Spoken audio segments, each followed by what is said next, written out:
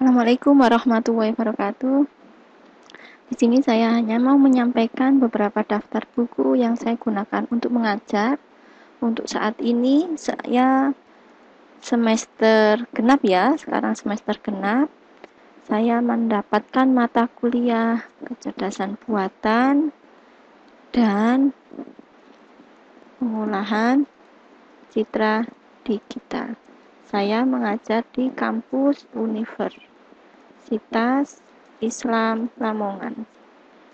Kemudian di sini dalam satu semester di kampus saya total pertemuannya kurang lebih 16 pertemuan. Nah, untuk komponen penilaian saya di sini uh, hanya untuk mahasiswa saya saja. Saya skip aja langsung untuk mata kuliah pengolahan citra digital saya skip, saya cukup menjelaskan yang materi kuliah kecerdasan buatan. Sebenarnya di video saya di playlist ya. Saya punya channel namanya Nur Navia di playlist itu sudah ada materi pengolahan citra digital. Nah ini ya. Saya sudah ada playlistnya bisa dicek. Kemudian saya juga ada mata kuliah ini. Saya jadikan satu ini banyak sekali. Materi terkait kecerdasan buatan dan pengolahan citra digital. Saya jadikan satu terkait computer vision atau data yang dalam bentuk tabel. Nanti bisa dicek tapi nanti fokus yang untuk materi saya ngajar saya letakkan di sini. Ini masih kosong memang masih baru. Tapi sebelumnya saya sudah ngajarnya terkait itu. Langsung saja dalam satu semester saya akan menyampaikan terkait ini. Mulai dari sistem pencarian. Sistem pencarian yang saya sampaikan yaitu menggunakan metode buta yaitu first search, first sama UCS sedangkan yang metode terbimbing saya menggunakan first search Selain ini ada hill climbing, ada A star, ada apa lagi ya?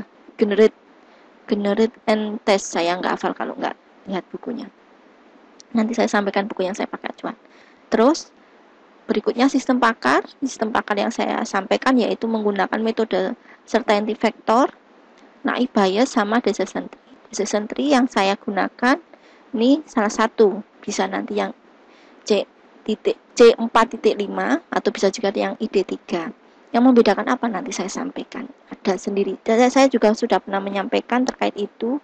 Nanti bisa dicek di ini tema materi kecerdasan buatan atau terkait klasifikasi. Saya sudah pernah menyampaikan itu. Klasifikasi saya pindah slide.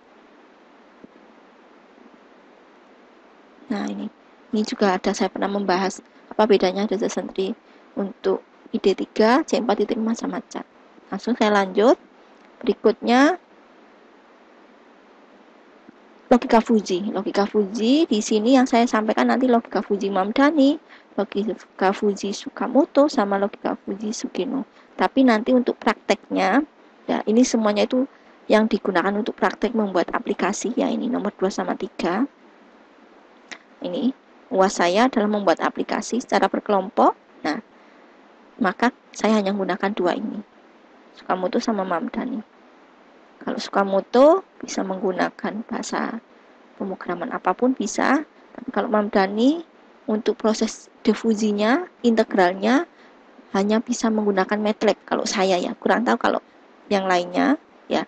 Karena saya sudah pernah nyoba mencari atau menghitung nilai integral atau rumus integral di bahasa pemrograman lainnya saya belum menemukan. Kalau saya ya jadi saya tekankan kalau saya selalu menyampaikan apa yang sudah pernah saya kerjakan yang sudah pernah saya eksperimenkan sehingga di sini saya nyampaikannya menggunakan MATLAB ya MATLAB Haji Mamdannya langsung saya sampaikan kalau kita belajar kecerdasan buatan maka sebenarnya kita harus dasarnya paham terkait apa itu basis data.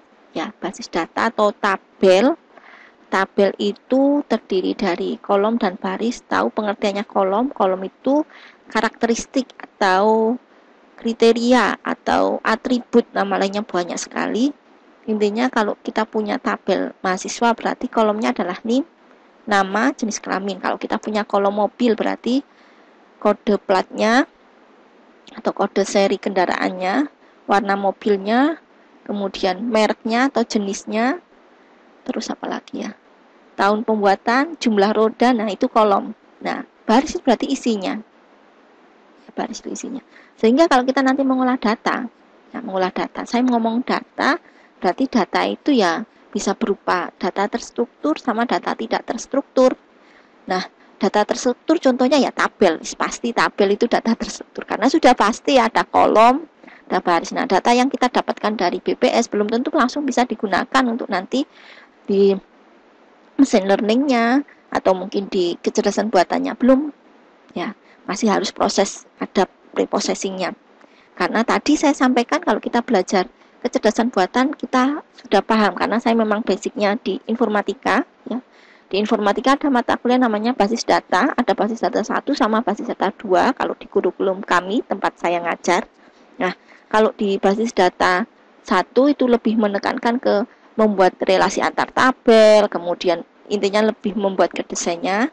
Kalau yang basis data 2 itu lebih ke implementasi query-nya, select apa dan sebagainya itu query SQL-nya. Nah, itu. Nah, pada saat kita belajar basis data ya tahu bahwa oh saya punya tabel ini berarti kolomnya apa, isinya apa. Nah, itu harus dipahami. Sehingga kalau kita belajar kecerdasan buatan akhirnya oh tabel ini belum bisa dipakai, akhirnya tahu kayak gitu. Terus kalau kita belajar kecerdasan buatan karena mata kuliah kecerdasan buatan itu belum semuanya mencakup di mesin learning belum ya karena kecerdasan buatan itu luas. Ya kecerdasan buatan itu luas. Nah kecerdasan buatan itu lebih tepatnya kayak gini. Oh saya mau menyelesaikan masalah. Ya mau menyelesaikan masalah. Menggunakan metode. Nah metodenya itu langkah-langkah rumusan matematikanya itu diimplementasikan ke program. Kayak gitu. Nah butuh data juga. Nah sehingga kita harus bisa memahami terkait matematika statistik dasarnya. Sebenarnya matematika statistik dasarnya ya cukup sederhana sih kalau bagi saya ya. Hanya tahu bagaimana rumus Mean, bagaimana rumus standar deviasi, varian, tahu apa itu median. Nah, it, terus apa itu proba, probabilitas. Udah dasar-dasar ini aja kita paham. Dan di orang informatika maksudnya kalau kita ngambil jurusan teknik informatika ya ada mata kuliah statistik, ada mata kuliah kalkulus. Nah, di kalkulus juga diajarkan ada turunan, ada integral. Nah, itu sebenarnya ya, nanti ada pemakaiannya. Cuma kadang ada yang sukanya menyepelekan orang informatika ngapain belajar matematika. Nah, itu. Karena memang kalau saya e, informatikanya lebih ke komputasi cerdas. Kayak gitu. Jadi memahami suatu algoritma, algoritmanya diterapkan ke dalam suatu program untuk menyelesaikan masalah. Tentunya juga ada data gitu. Nah, Kenapa kok ada mesin learning? Mesin learning pemahaman saya adalah oh algoritma tersebut itu sudah sudah ada fungsinya, sudah ada code-nya, kita tinggal manggil. Nah, kayak gitu makanya ada mesin learning. Contohnya, oh saya dulu waktu masih studi S2 2011 sampai 2013 itu pakai MATLAB. Nah, saya mengenal bahasa Python itu tahun 2018. Nah, perkembangannya lebih duluan MATLAB malahan maksudnya lebih duluan MATLAB ya karena saya sudah belajar MATLAB dari 2000 2012 eh, berarti ya karena seingat saya yang 2002 maaf 2011 itu belum ada materi yang menggunakan MATLAB 2012 baru menggunakan MATLAB nah terus ada lagi perkembangan namanya deep learning nah kalau di kampus saya tempat ngajar untuk mata kuliahnya itu namanya data mining dan materi maaf apa kecerdasan buatan sama pengolahan citra digital. Jadi ada tiga ini. Data mini, pengolahan citra digital sama kecerdasan buatan. Kalau saya ngajarnya tidak pernah mengampu mata kuliah data mini. Saya mengampunya pengolahan citra digital sama kecerdasan buatan. Tapi kalau kita belajar kecerdasan buatan paham juga. Sehingga saya menyampaikan buku yang saya pakai acuan. Nah, ini. Buku nanti saya tuliskan di link deskripsi, saya share biar sama juga bisa belajar. Boleh sama ngambil dari mana? Ini buku murni yang ada di rumah saya di perpustakaan pribadi saya. Ini buku yang murni saya punya. Ada yang dalam bentuk jilitan fotokopian karena memang dulu awal-awal masih mahasiswa S2 itu nggak punya uang. Sehingga kalau merasa butuh bukunya ya udah saya fotokopi. Nah terus setelah saya punya uang ya saya beli bukunya. Gitu. Nah ini buku yang pertama. Uh, ini saya ngurutkannya itu bukan berdasarkan tahun bukan ya tapi ber, e, berdasarkan saya fotokopi duluan motokopinya lebih duluan terus belinya kayak gitu. Sehingga yang awal-awal ya ada yang tahunnya tua terus intinya waktu itu saya baru bisa fotokopi gitu. Uh, saya pertama kali belajar kecerdasan buatan itu dari bukunya ini. Buku apa Bu Sri Kusuma Dewi jadi ini namanya adalah Bu Sri Kusuma Dewi bukunya Bu Sri Kusuma Dewi itu banyak sekali. Nah termasuk ini ada neurofuzi kalau saya pernah belajar terkait ada istilah Anvis padahal Anvis Edit itu adalah suatu toolbook editor untuk melakukan fazi dan sebagainya. Itu namanya Anvis Editor. Nah itu saya juga belajarnya dari bukunya Bu Sri Kusuma Dewi. Terus ini bukunya itu terkait bahas fazi dikaitkan dengan jaringan saraf tiruan. Kalau yang ini murni kecerdasan buatan jadi terkait apa itu kecerdasan buatan, ada istilah soft computing. Soft computing itu suatu algoritma yang sudah dikomputasikan kayak gitu. Contohnya soft computing itu ya ada logika fuzi, ada algoritma genetika, ada sistem pakar, terus ada jaringan saraf tiruan, nah kayak gitu. Terus ini saya belajar sistem pakar dulu waktu awal-awal saya S1 saya S1-nya juga di Universitas Islam Lamongan itu tidak ada mata kuliah kecerdasan buatan yang ada adalah sistem pakar sehingga dulu waktu saya apa masih kuliah itu juga beli bukan beli ya tapi fotokopi. Jadi di perpustakaan ada terus saya fotokopi karena belum punya uang. Gitu. Nah ini bukunya Bu Kusrini sama Muhammad Arhami Bapak Muhammad Arhami. Bu Kusrini ini tentang sistem pakar saya pelajari. Terus waktu S2 juga diajari sistem pakar tapi menggunakan aplikasi apa ya? Ada aplikasinya jenis common window gitu. Jadi enak kita hanya masukkan rule-rule-nya kayak gitu. Rule-rule-nya nanti kita apa rule-nya itu rule itu kan namanya inferensi ya, apa ya? E, basis pengetahuan atau rule itu if bla bla bla then nah itu. Nah, itu diajarkan ada aplikasinya bukan membuat ngoding sendiri bukan tapi sudah ada kita tinggal masukkan rule-nya nanti enak nah terus ini saya hanya baca sekilas yang bukunya Bapak Son Kuswati ini uh, bukunya itu lebih tepatnya itu bukunya itu kayak kumpulan dari beberapa beberapa bab yang diambil dari artikel mana artikel mana kayak gitu bukunya sehingga uh, kadang saya kurang saya kurang bisa memahami. Jadi kadang ada buku yang mudah dipahami itu enak gitu saya belajarnya. Ya, contohnya miliknya buku Sri Kusuma Dewi ini enak saya belajar itu lebih mudah dipahami. Baik yang apa buku terkait Fazi ataupun ini ya. Kalau saya belajar Fazi juga dari bukunya Bu Sri Kusuma Dewi. Nah ini. Aplikasi Loga Fuji warnanya hijau bukunya. Itu juga enak saya kalau belajar. Jadi kalau buku yang terkait kecerdasan buatan itu sampai 20 saya punyanya yang saya list 20-an ya. Terus uh, belajar algoritma genetika juga pernah. Ini bukunya warnanya apa ya oren oren lebih banyakan ke MATLAB memang saya. Karena apa ya karena dulu waktu S2 juga seringnya belajar MATLAB sampai saya lulus S2 juga belajarnya MATLAB. Kemudian buku yang sering saya pakai untuk ngajar mudah sekali untuk di apa ya dipakai untuk ngajar. Kalau saya ya juga bukunya Bapak Sutoyo ini kecerdasan buatan, bukunya warnanya agak apa ya putih-putih ada merahnya gitu. Nanti bisa dicek. Nanti saya kasih listnya.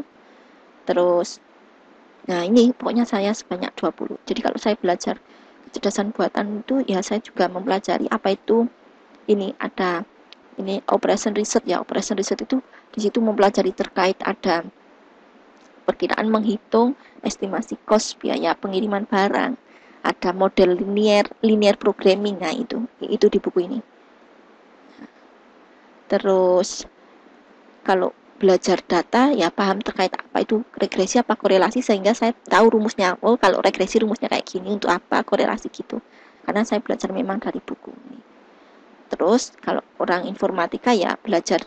Ini ada saya bukunya statistik terapan untuk informatika. Ya ada pelajaran terkait regresi ada statistik ada terus ada apa lagi ya? Uh, di situ. Saya nggak hafal kalau nggak buka karena saya jarang menghafal buku. Kalau saya butuh langsung saja terus uh, di materi fisika juga kita pasti butuh untuk uh, di informatika. Contohnya ini yaitu momen momentum ya mau apa ya ada rumus momentum. Itu dari sini. Nah ini beberapa buku yang saya pelajari terus saya juga ada sih penelitian terkait speak recognize ya tapi uh, mas apa ya sudah accepted tapi belum belum publis ya sudah accepted tapi belum publis itu di conference IEEE ya seingat saya IEEE sebentar saya cek di das. Yang terbaru ini. Nah ini ya identifikasi human stress. Jadi saya kerjasama dengan mahasiswa di ITS juga kan saya saat ini sebagai mahasiswa S3 di ITS nah ini saya juga terkait apa ya suara. Jadi sehingga saya juga beli bukunya. Ini bukunya lumayan baru. Ya tapi ini juga pakai MATLAB karena memang kebiasaannya eh, ada kok kelebihan sama kekurangan dari masing-masing. Jadi tidak perlu apa fanatik berlebihan tidak perlu. Intinya kita merasa dibantu mana ya udah itu kita gunakan nah ini beberapa buku yang saya gunakan terus kita bahas ke data. Nah, data kalau dalam bentuk tabel, udah itu memudahkan kita nanti.